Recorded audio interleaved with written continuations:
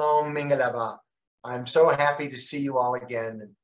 Uh, as you all know, I've uh, I've missed I've missed you uh, from the for the last two and a half years.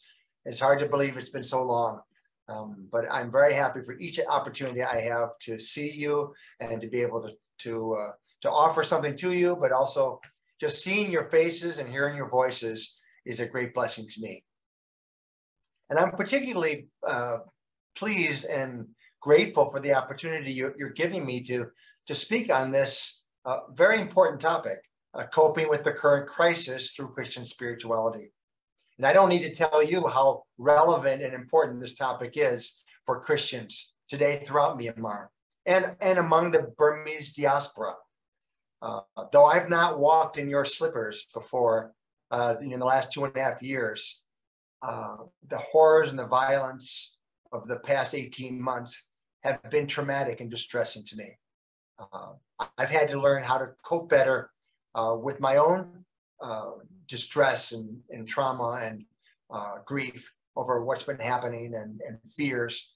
And so, what I offered you tonight for your benefit has personally been helpful to me in my own experience as well topic you already know. We've already talked about that, but let me share with you briefly the outline for this special talk. Uh, first of all, we're going to talk about what coping might mean and look like for you. Secondly, why Christian spirituality is relevant in our suffering. And then most of our time will be spent on three important coping strategies. One, lean heavily upon relevant spiritual truths. Two, utilize the most helpful spiritual practices. And three, actively work through your grief. Okay. So first of all, what does coping mean? The first point that I want to emphasize is that in order to cope better with your your this crisis and what you're going through, you need to come to grips with the nature and the extent of the crisis for you. The current crisis in Myanmar is perhaps the greatest and most far reaching crisis the Burmese people have ever had to endure since independence from the British. Every Myanmar citizen has been devastated by what has been happening over the last 18 months and over the current state of affairs. People are disappointed, angry, confused, helpless, impatient, and desperate. As one MIT faculty member wrote to me this week, and this is an edited version, he says the current crisis has destroyed our hope, dreams, and future. So, how is this crisis affecting you? Since no two individuals are exactly alike, and everyone responds a little differently to a major crisis like this one, how would you describe not the cause of the crisis, but the impact that it's having on you, on, on those you love and care about. The more you can name how you personally are being affected, I mean, physically, psychologically, socially, emotionally, or spiritually, the better you can identify helpful coping strategies the better you can name your feelings and identify the kind of support that you need from others, the better they can give it to you. Let me give you some examples. If you know that you're sad or depressed, and you can name that, then, then you will know that you probably need some love and encouragement. If, on the other hand, your feelings are volatile and disruptive, and you and disruptive to your life, and you feel out of control, then you need to search for ways to get better grounded. If you feel lonely or isolated, then reaching out more to, to other people is probably what you need to do. Or if you mostly just need someone to listen to you, to your feelings, or to your story, then find a caring, safe person and ask him or her to, to sit with you and listen for a while. This, by the way, is one of the the best things you can do for each other as MIT faculty members or staff members or fellow students. You, you just get together, not to solve problems, but just to listen to one another so that people have a chance to express their feelings and to not feel so alone. And as another example, if you feel abandoned by God, then you might need to try a different spiritual practice or have a talk with a pastor or, or a spiritually mature friend, etc., etc.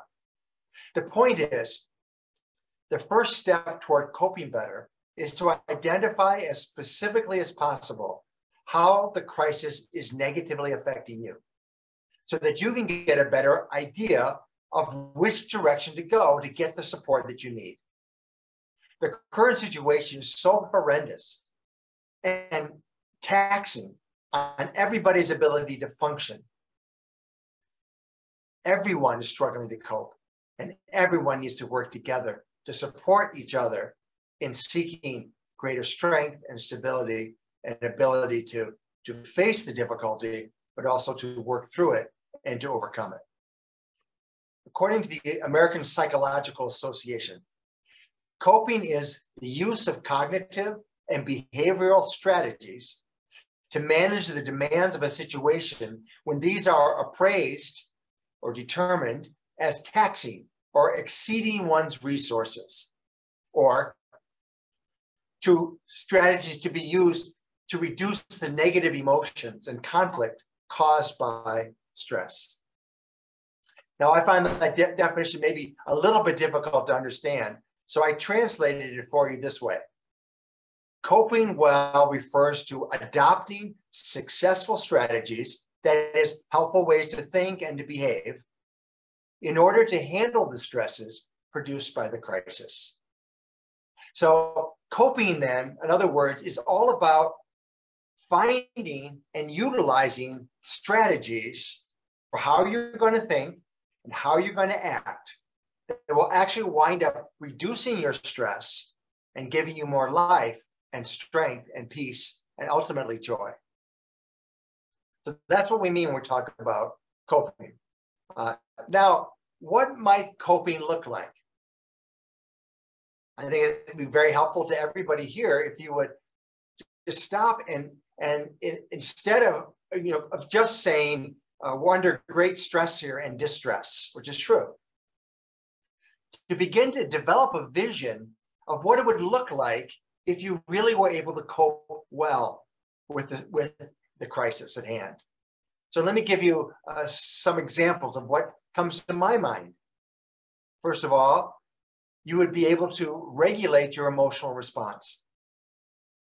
In other words, instead of being constantly consumed or controlled by your reactions to the ongoing crisis, you would learn how to breathe and to let go of those emotional uh, uh, impulses and those that, that tremendous drive inside of you and be able to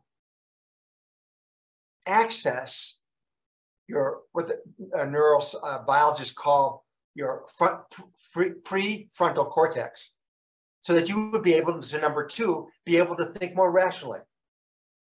You could choose your response rather than just react out of a fight flight or freeze response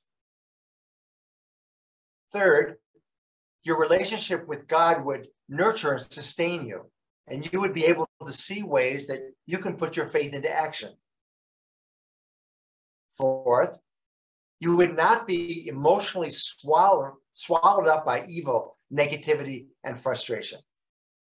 You would still find meaning, purpose, and value in your daily life. Five, you would be able to concentrate, create, do your work, and contribute to the well being of others. And then, six, you would be able to experience more peace and joy amid all that you cannot control and all that oppresses or burdens you. I share this with you because one of the most important things in coping with stress is to not let your emotions overwhelm you and to maintain a vision for what health and wholeness would look like, even if you feel like you're a long ways away from that. A vision gives you a direction to go. A vision helps you know how to pray.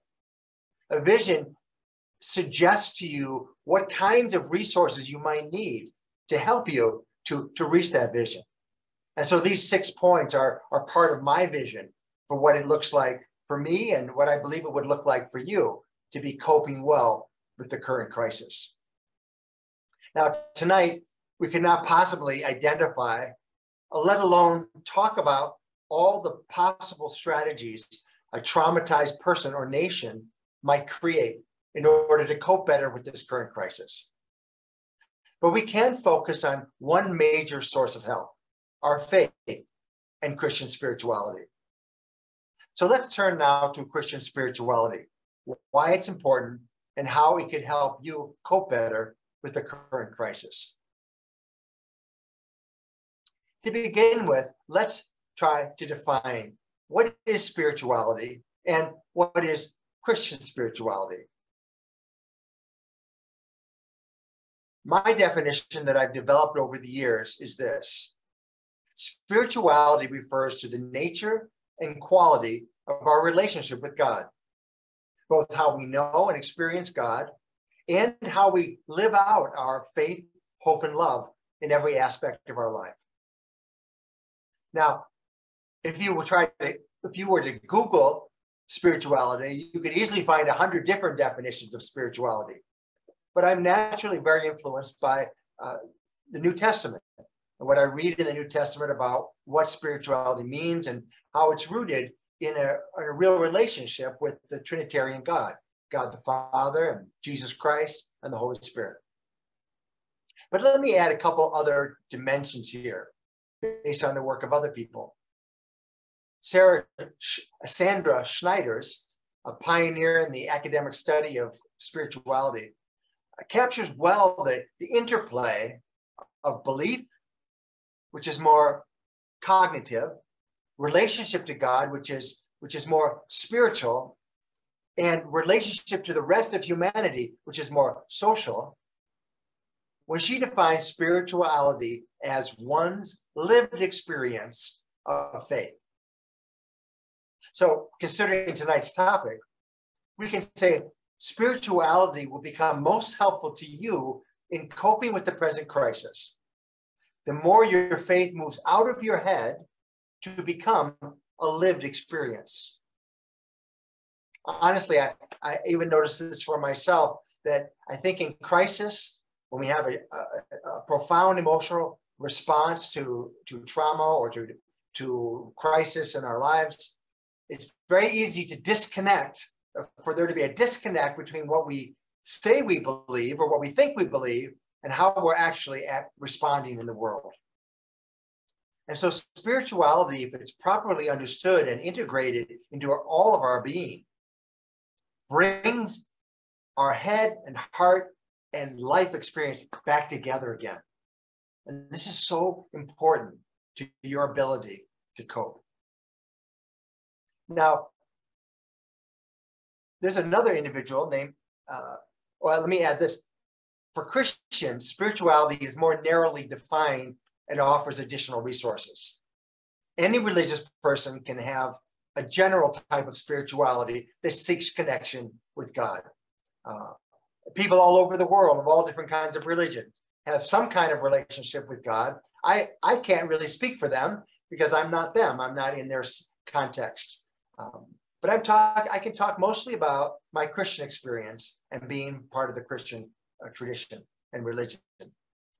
And so when we move from a, a generic definition of spirituality to a Christian definition of spirituality, we, we need to link our understanding of connecting with God to our relationships with Jesus Christ and the Holy Spirit, as I mentioned a few moments ago.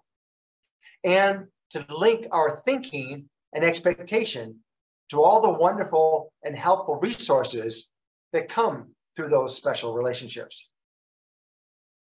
The late Robert Webber, uh, author and seminary professor of ministry, defined Christian spirituality simply as a lived theology.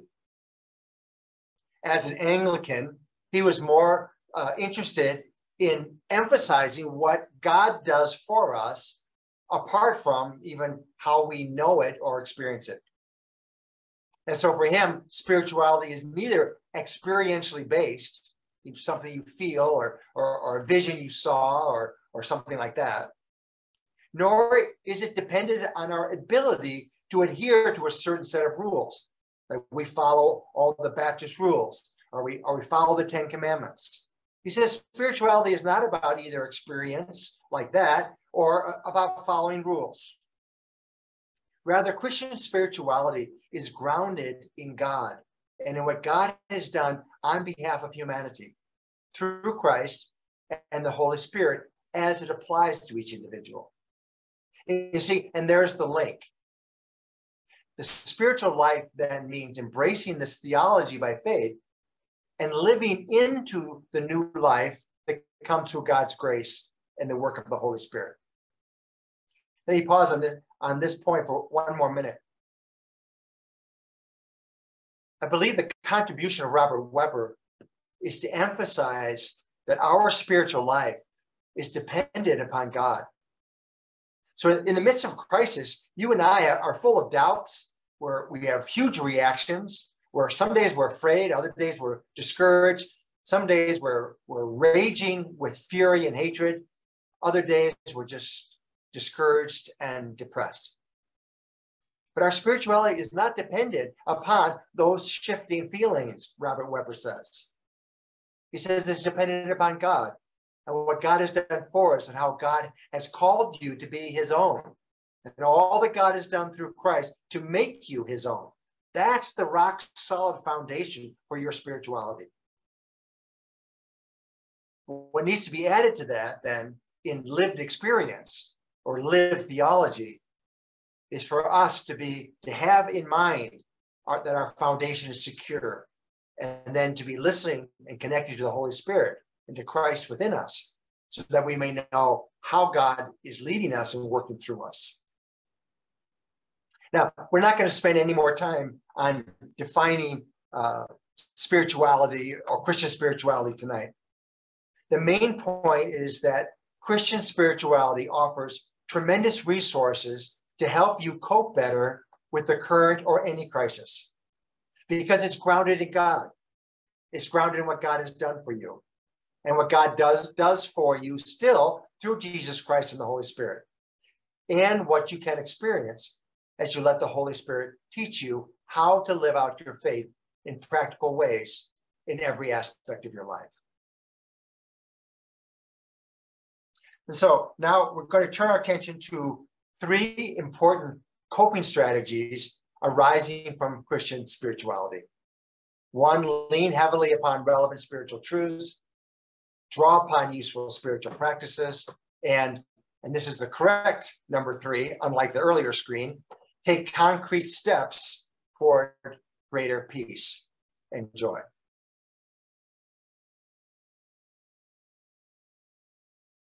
Strategy number one lean heavily upon relevant spiritual truths.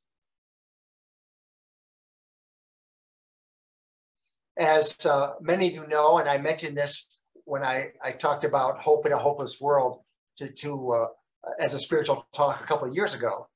Uh, I published this book in 2020 in response to the COVID crisis. Um, but as time has gone on, and as we are now dealing with new challenges and new crises in Myanmar, really all over the world, it's become uh, very evident to me that the spiritual truths in this book are very relevant to all situations where we're trying to, to cope with suffering and, and, and evil and oppression and injustice and all those other things that make life so very difficult for us. And while I don't think I used the word cope in this book, it was surely intended to help Christians to cope better. So I wanted to provide a biblically based, theologically sound foundation for trusting God in the midst of your crisis, while avoiding the two extremes of clinging to false hope of God's miraculous de- deliverance on one hand, or abandoning one's faith in God altogether on the other. let me go through these seven spiritual truths uh, just, just in cursory fashion. Number one, remember your limited ability to understand the will and ways of God. Take whatever God offers. I hope you will look up some of these scriptures later uh, when you have more time.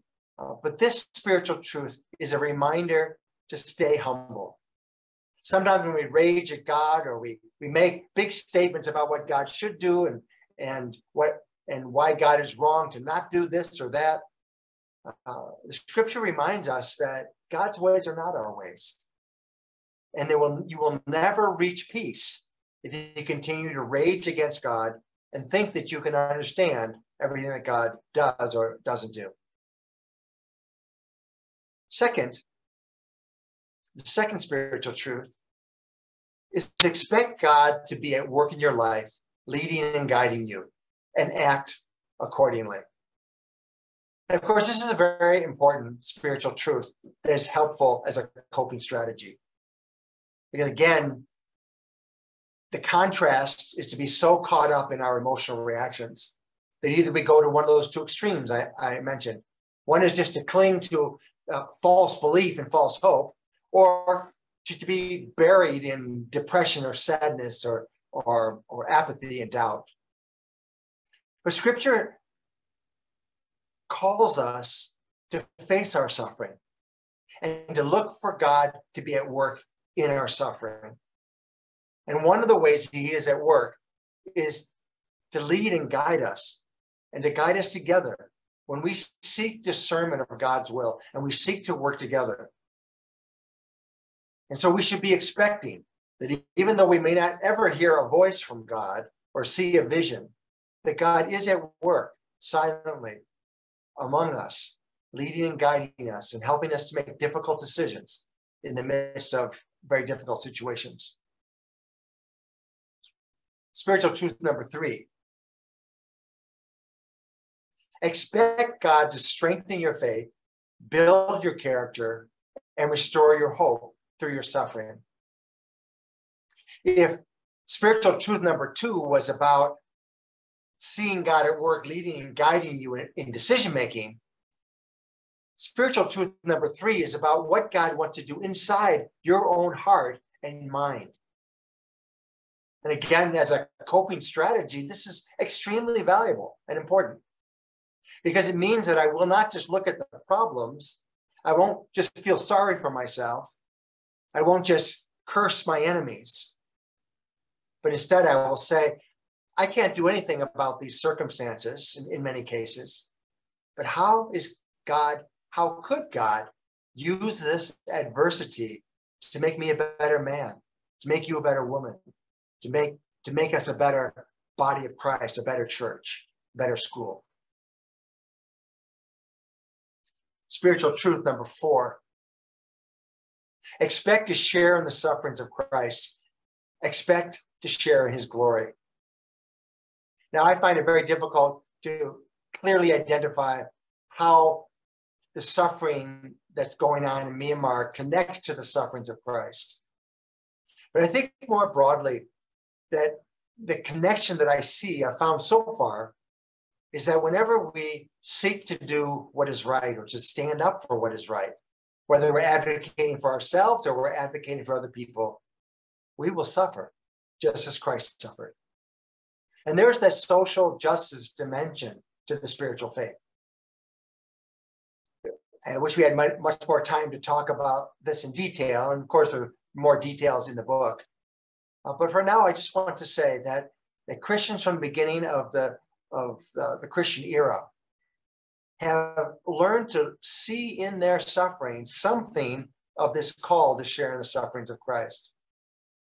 And part of how they endured it was not only considering themselves privileged to be experiencing what their leader experienced, but also the hope and confidence that one day we'll share in his glory. That doesn't mean that we're going to be praised by God or praised by other people. I believe sharing in, in Christ's glory means that one day everyone will see that God really was at work in your life God really was, He really called you, He chose you, He loved you, He put faith in your heart, and He gave you an ability to endure the suffering and to serve Christ's purposes. And that, that was, and, and looking back, they're going to say that was an amazing, beautiful, wonderful thing that, that happened. And in that sense, we share in the glory of Christ. Spiritual truth number five. Remember, nothing can separate you from the love of God. Again, very important truth. Why is this one important? Because sometimes we just don't see any redeeming value in our suffering. Sometimes suffering is just suffering. Sometimes evil is just evil. And we are the victims of that. You are the victims of that. I can't create a beautiful picture of, of every evil thing that happens, or, or maybe any evil thing that happens. Sometimes I can't even see any good that comes out of some evil. But that's why this spiritual truth was given to us by the Apostle Paul. Because he's saying, even in the worst of circumstances, there is one thing that can give you more peace and confidence and even joy. And that is nothing, nothing can separate you from the love of God. And what he's saying by that is someone may take away your freedom, your possessions, your home, and your loved ones, but they can never take away your God. They can never take away Jesus. They can never take away your eternal hope. This is indeed a precious spiritual truth. Number six, expect more peace as you put your anxieties into God's capable hands. Uh, there's a lot more detail, of course, in the book. Um, but one of the things that we find as a spiritual truth and a spiritual practice in, in the Bible is that something happens when we consciously make a connection to God with our concerns. We reach out to God. And in this passage of Philippians 4, Paul does not promise that God's going to give us what we ask for. But there's something about reaching out and making that connection where we pour out our heart to God and we give him our concerns and we leave those concerns there that results in what Paul calls the peace that surpasses understanding. Number seven, expect to be renewed as you accept your limitations and wait on God. In other words, an important spiritual truth or part of Christian spirituality is to believe that giving up or letting go of what we cannot control, letting go of our of situation that that we're, we feel powerless in, and acknowledging our powerlessness, but doing that in the context of prayer, in the context of Christian fellowship, in the context of faculty members, students, uh, church members getting together and sharing their stories, acknowledging the powerlessness in the context of faith and connection with God brings peace. And many times it brings joy. Why? Because we, we are freed from a burden that we can't carry on our own. And, when, and once we're freed, we begin to experience joy again. The conclusion is something I shared eh, for those of you who were at, the, at that talk two years ago on Hope and Hopeless Times. But what I said then in, in the final chapter of the book is that in the end, trust is a choice. And considering today's topic, let me, let me make the connection clear. If every day you are debating whether or not you can trust God, if every day you're debating whether you want to continue to be a Christian, if every day you're debating whether uh, it's it, God is going to do anything good for you, you're going to be a very unstable person. And you will never get enough data from your experience to prove that yes, you should trust or no, you shouldn't trust, because there's lots of data on both sides. And that's why the way past that, that impasse is to choose to trust. Choose to trust in the God that you've known all these years and continue to put your hope in Him, not necessarily for uh, a miraculous deliverance, although I pray for that every day, but simply a trust that the seven spiritual truths I shared with you are real and they are relevant to your life and that you're going to choose to live by them even in the spite of so much in spite of so much uncertainty. Okay that's strategy number one. Uh, let's go now to strategy coping strategy number two. The first one was of course about importance of of leaning heavily upon relevant spiritual truths. You need to know them, have them in your head, so that that that the Holy Spirit can bring them to your mind when you lose your way and you forget these truths.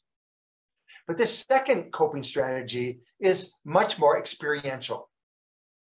And that's why I offer to you, uh, and it's an experiential coping strategy, which I'm calling draw upon useful spiritual practices.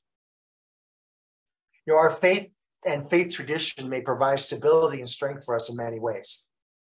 But as I've said before, Christian spirituality has always been about more than belief and tradition. Christian spirituality, as we observed earlier, is dynamic or supposed to be dynamic. God's grace and gifts don't depend on our experience, but they always flow into our experience through the Holy Spirit. Now, you know this already. What you might not be familiar with is the fact that your spiritual type makes a difference as to which spiritual practices might be most renewing, energizing, comforting, or simply helpful to you right now during this period of crisis. So let's talk about four different spiritual types.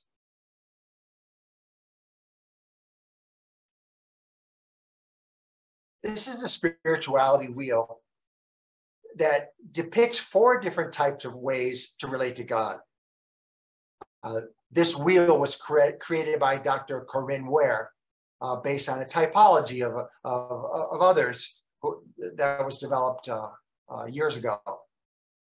But I want you to look at this, these four types here as a way for you to reflect upon how you best relate to God the truth is we're not all alike. And as you can see that that some people, I don't know, can you see my arrow when I when I make it go around and around? Okay, good. So some some people know God through their heads. And that's more of a speculative spirituality. And that, Corinne says, will represent as number one. A second type knows God is revealed. This is the cataphatic spirituality. And down here is, is a heart, spiritual, heart spirituality. It's much more feeling oriented and experientially oriented, relationally oriented. And these, the affective spirituality, is God is known through the heart. So, so this is a continuum here from head to heart. And this is a continuum from God as revealed all the way over to God as mystery. And the four types are fit in this way. The third type is mystical spirituality. Mystical spirituality emphasizes that God is mystery and may or may not be very heart oriented, but is certainly not head oriented. So head, head spirituality would be the polar opposite of mystical spirituality. And so whereas the those who know God through their head for these people, words are extremely important. For the mystics among us, those who know God uh, in, in, in more of a, uh, a way that uh, is more mysterious without words and without certainty, but is more of a sense, uh, these people will not use words, will rarely use words. Words, in fact, get in the way of really knowing God. And then, fourth, we have social action spirituality. These are the people that for whom God might very well be a mystery, but what's not a mystery is the injustice in the world. What's not a, a mystery is how people are suffering. And so these people live out their spirituality by what they do, how they live their life. I created a, a, a, another diagram to simplify what I took from Corinne Ware's work. And so here are the four types again. One, go back. One, two, three, four. And I'm calling number one thinking spirituality. And number two, feeling spirituality. Three, being spirituality. And four, doing. And you can see some examples of, of how a person of, of that type might try to seek to know God or relate to God or connect with God. This is very important to, to, to now go to this next step of detail because it may give you more insight as to why you choose or gravitate to the spiritual practices that you do. So, thinking oriented people love reading and studying and discussing and writing. Many teachers are thinking oriented because they love to gather information and share it with others. But also, m- many Christians are feeling, we call feeling oriented. And these are overgeneralizations, but it's a way to try to understand a different type or a different way of connecting to God. And for these people, when they feel closest to God, when they're singing or laughing, even crying, if it's a if they're moved by something powerful or, or by the love of God and they're weeping tears of, of joy or, or, or appreciation, or just table fellowship, sharing with one another and, and sh- listening to stories or, or sharing testimonies or just enjoying one another. That's when they feel like they've really been with God. The doing people, uh, well, I'll make you do the being next. The being people feel closest to God when they're out in nature, probably all by themselves in solitude and perhaps silence.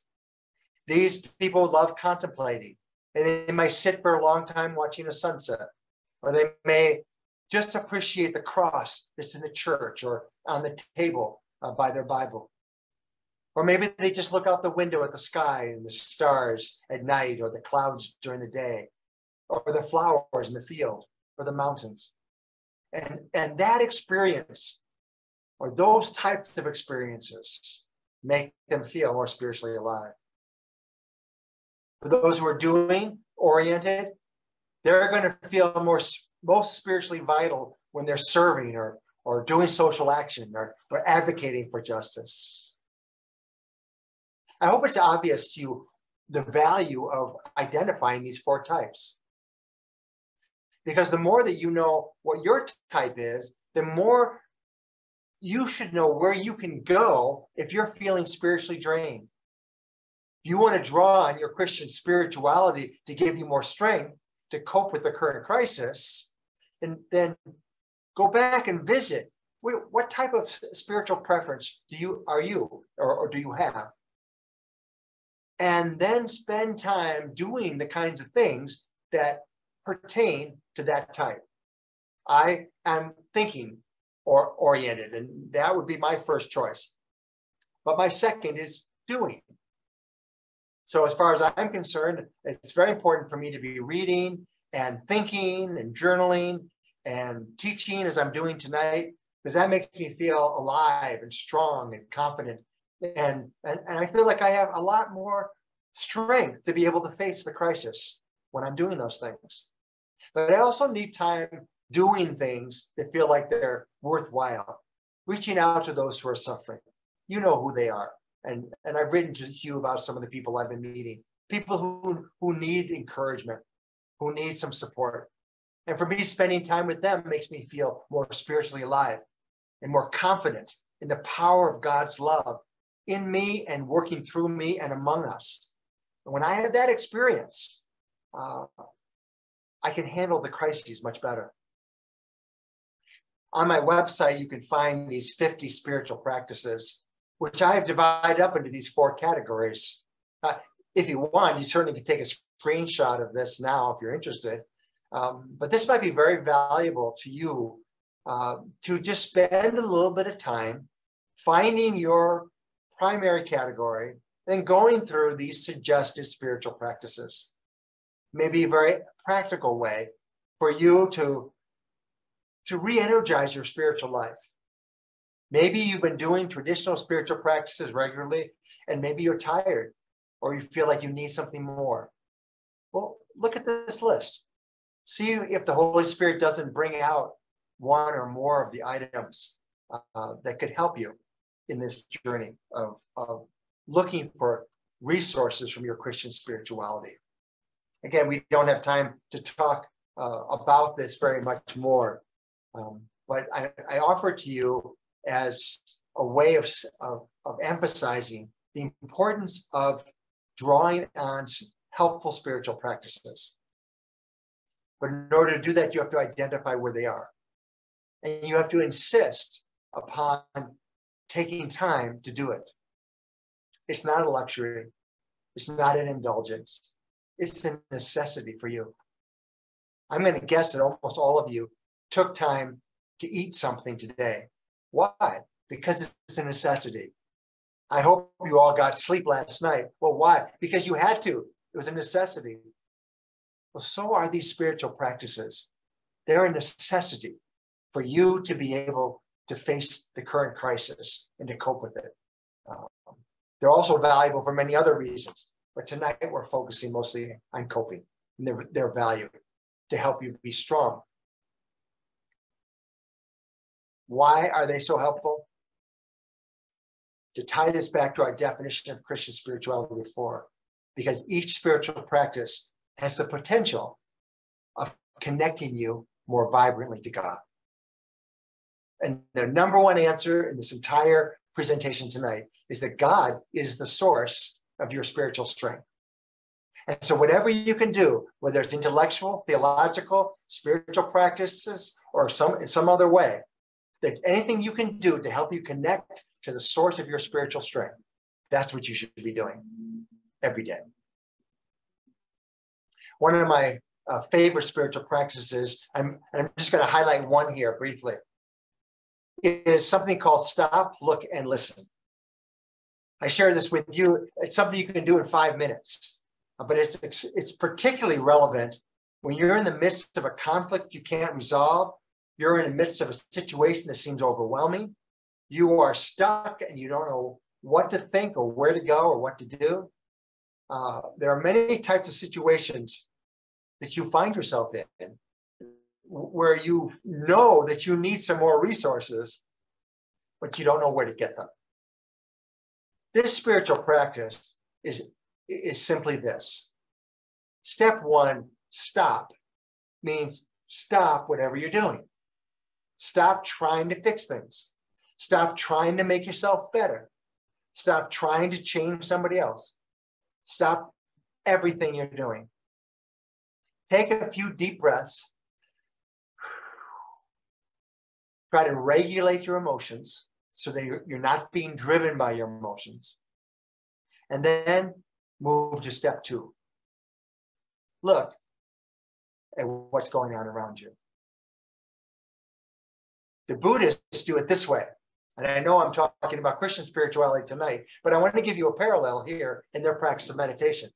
What they do is they breathe, calm themselves down, which is what I mean by stop. And then they detach themselves from whatever attachment, emotional attachment they might have, a person might have to whatever's happening.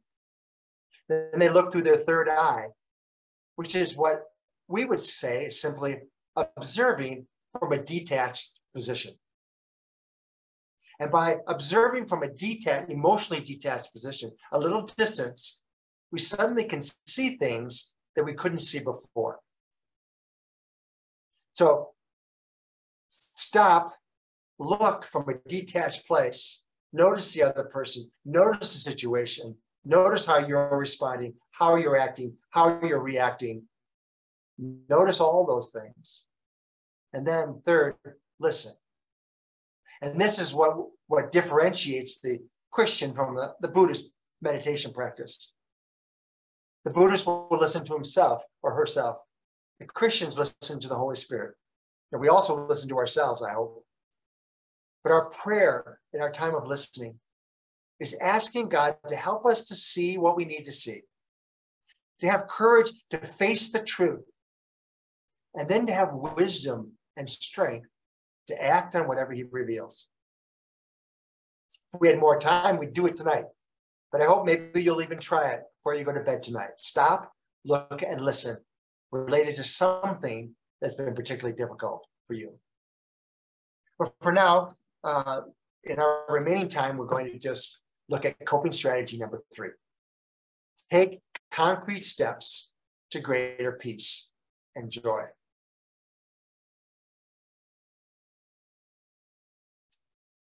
Some of you know that uh, in September, I posted uh, four successive, on four successive weeks, I, I, posted four articles on Facebook and on my blog site um, about four steps toward greater peace and joy, or to experience greater peace and joy.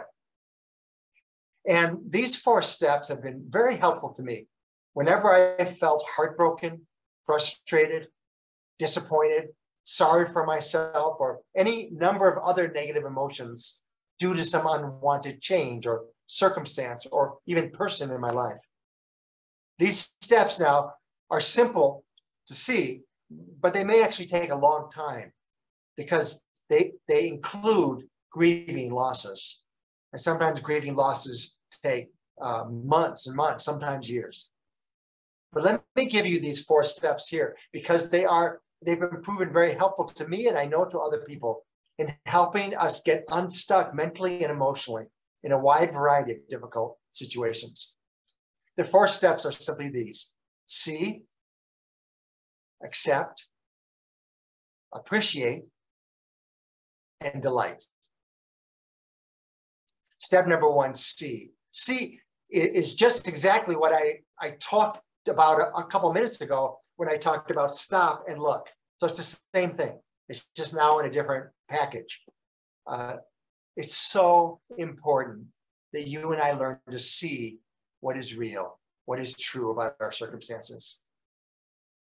Denial feels better because it shields us from the pain, but denial does not help us get better because it keeps us trapped in illusion, in fantasy.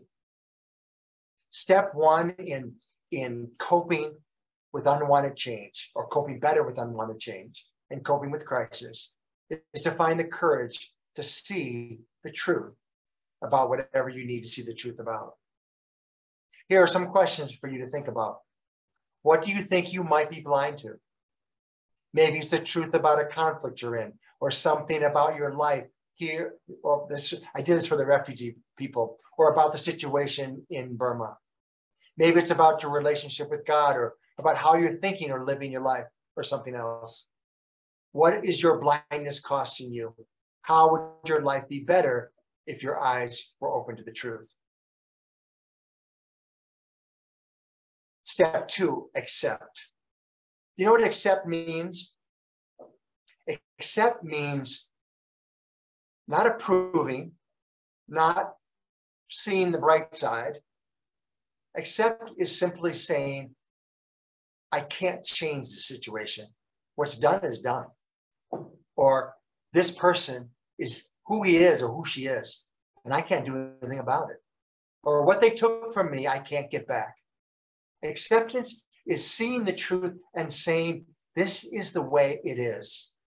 And then letting go of that rage, that resentment, that bitterness, uh, that hatred, or whatever emotional reaction you've been attached to, or that has been attached to you, letting that go and saying, it's done.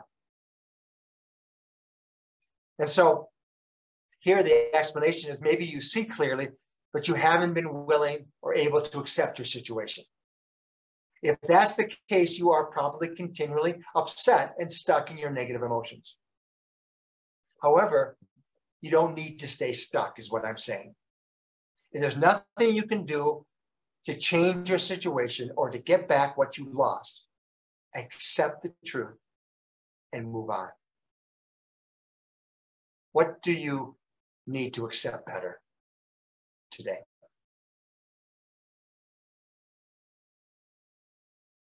Step three. Once your eyes have been opened and you've accepted your unwanted situation, then you're ready for step three appreciate. Ask God to give you eyes to see the good that is in your life. Appreciate the opportunities that are available to you to learn, to grow, to contribute, to serve, or just love and, and be loved. When I recommend appreciation here, I'm not saying that you appreciate that you lost something or you appreciated the evil. That's not what I'm saying. Appreciate on step for step three can only come after you've accepted what you've lost as lost. And now you turn your eyes to something else. You start to notice the beauty, the love, the other things that are still good in your life, and the opportunities that are still available to you or that may still emerge in the days ahead. Finally, step four is delight. Now, step four uh, takes appreciation to the next level. It even goes beyond just appreciating to actually taking pleasure in, in various things in your life. Where you can find uh, where you where can you find something to delight in in your life? What people or ideas or healthy activities bring you a lot of pleasure and joy? Good friends family an interesting book being creative being out in nature etc etc the apostle paul says think about whatever is good beautiful pure or praiseworthy. Above all the psalmist says delight in the Lord first and foremost. And that focus will cure a lot of blindness and give you more meaning and direction for your life. Well, I'm racing through these, and there's a lot more detail uh, on Facebook, but also even more detail on, on my blog site. But this gives you an idea. But I'm trying to give you some ideas about some concrete steps you can take to help you as you're trying to cope better with your current crisis. In taking these four steps to greater peace and joy, I'm not suggesting you should live in denial or cling to false hope. Not at all. I'm suggesting just the opposite. The whole restorative process begins by finding, as I've been saying, the courage to see what's real and to face what you would rather not face. Then the next step is to accept what you cannot change. You stop holding on to the negative emotional reaction that's been holding you prisoner for a long time. Then you will be more ready to take the next step. Appreciating your blessings and opportunity is not clinging to false hope, but embracing the gifts. I realize I have it here. Uh, appreciating your blessings and opportunities is not clinging to false hope, but embracing the gifts that are truly yours to enjoy and to make the most of. Then finally, delight is all about putting your life in order and rediscovering the joy that is available to you. Delighting in God's creation and the lovely things and people of this world, and there are many. And delighting in the Lord Jesus Christ are not escaping reality. They are choosing to focus on your relationship with God and all that God gives to you and all that we have, like on this call tonight, all that we have in our relationships with one another in the body of Christ. And these, these great gifts, and God through these great gifts, are our great source of peace and joy. Tonight we've talked about, as you know, our topic is coping with the current crisis through, Christ, through Christian spirituality. And we talked about the impact of the current crisis and what coping might mean and looks for you. We define the value and role of Christian spirituality in times of crisis. And then we spend most of our time looking at three important coping strategies. I suggested that you will find greater peace, joy, and strength if you do three things daily. Lean heavily upon relevant spiritual truths. Utilize the most helpful spiritual practices or draw upon useful spiritual practices. And three, actively work through your grief, which I reworded to be take concrete steps toward greater peace and joy. For additional resources and explanations of what I talked about tonight, please see our resource library, where there are resources in English and in Burmese, and uh, even in some of the other ethnic minority languages. Uh, my blog site contains all of my essays, including the, the ones I mentioned tonight. And you can subscribe to that so you're always notified whenever I publish another one.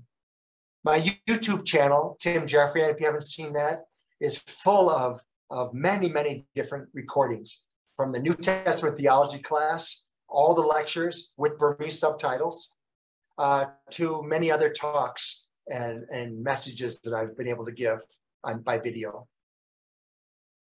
Facebook. If you're not a Facebook friend of mine, uh, I would like you to be a Facebook friend of mine. So I hope that you will uh, you will friend me, and uh, especially if you will send me a message and let me know that you were on this call tonight. Uh, that, that would mean a lot to me. And that way you, you will see whenever I, I post in English and in Burmese. And my wife's website is full of resources related to labyrinth, prayer, and finally my uh, personal email. Uh, please feel free to write to me if you want to share with me anything related to what you experienced tonight or a question about uh, drawing on Christian spirituality for coping, or, or if you just want to make a connection, do it on Facebook or, or do it by email. Thank you for listening so carefully and well. And now it's time for our question and answer period.